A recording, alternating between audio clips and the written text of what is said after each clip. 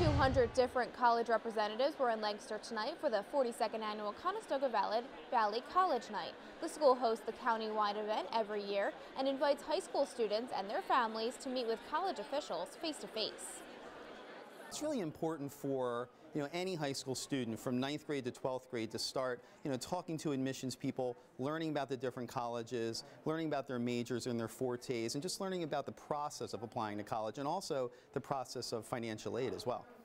CV hosts College Night every year on the first Monday of November, and if you missed tonight's event, just ask your school guidance counselor for information on researching the many university options.